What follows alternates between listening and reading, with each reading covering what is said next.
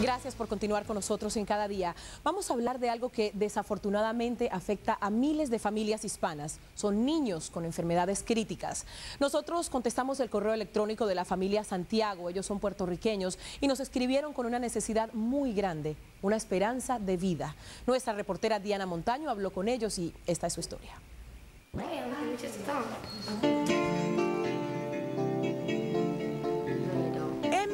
Roxanne Santiago están en la plenitud de su adolescencia. Tienen sueños, metas y aparentemente están llenas de vida. Pero sobre ellas pesa una sentencia de muerte. Mi niña padece de una enfermedad que se llama hiperlipidemia tipo 5 y es muy rara. Eh, según los médicos es de uno en un millón. Yo tuve dos. La enfermedad se manifestó cuando solo tenían meses de nacidas. A Emilio Santiago los médicos le dijeron que sus hijas no vivirían más de 12 años. Emily cumplió 15 y Roxanne tiene 13. El tiempo se acaba. Empecé a estudiar, empecé a leer, desarrollé una dieta. Eh, los médicos me preguntaban por qué yo se la daba. Eh, yo les explicaba, ellos tomaban nota estudios en medicina. Se volvió autodidacta para salvar a sus hijas. Y es que en los Estados Unidos no existen especialistas en este padecimiento. Por tanto, el tratamiento se hace más caro, difícil de obtener y de sobrellevar. Papá, yo no, yo no roto la dieta. Me voy a morir.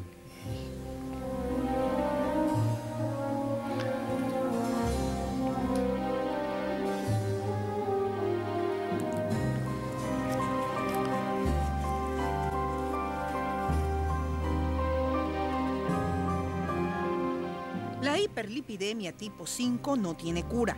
No permite al organismo digerir grasas ni azúcares y cuando las niñas sucumben a crisis vienen ataques de vómito. El páncreas colapsa.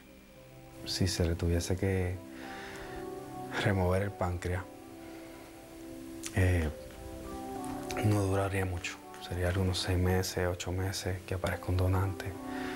Es un proceso por el cual yo no quisiera llegar. Emilio y su esposa aseguran que lo más duro es verla sufrir día a día. ¿Qué es lo que más te molesta, Roxanne, de la enfermedad? Ver a niñas comer cosas que yo no puedo. Bizcocho, pizza y chocolate. Sí, sí. Emily, la mayor y quien ha estado al borde de la muerte en varias ocasiones, sabe que el mañana es incierto. Si yo quiero tener un bebé en el futuro, no puedo porque me suben los niveles muy altos y me puedo morir. Y sí, me preocupa mucho porque me gustaría tener un hijo. Pero quizá el sueño de ser madre pueda cumplirse. Es un tratamiento genético.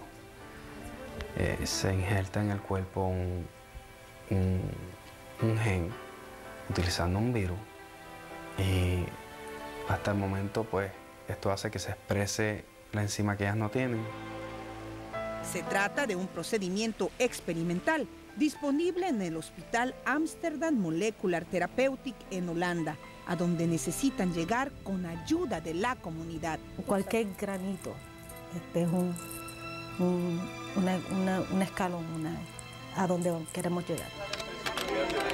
El fondo Una Esperanza de Vida Emily Roxanne fue creado para que las niñas puedan tener eso, una esperanza de vida. Ella tiene su sueño, cada cual tiene su, su, su goals, tiene su sueño, quieren, quieren hacer algo. Yo quisiera que ella sí lo tuviese. Y, y si hay madres allá afuera que tienen hijos con condiciones o, este, o, o normal, pues saben de lo que yo estoy hablando. Diana Montaño, Telemundo. Muchas gracias a Diana Montaño por traernos esta historia, esta familia que verdaderamente es un ejemplo de lucha y de lucha unida. Si usted desea ayudar a Emily y a Roxanne, visite nuestra página de internet yahootelemundo.com y ahí le vamos a decir cómo hacerlo. Pero también entendemos que hay miles de familias hispanas que sufren por no poder dar a sus hijos la debida atención médica por falta de recursos o por falta también de información adecuada.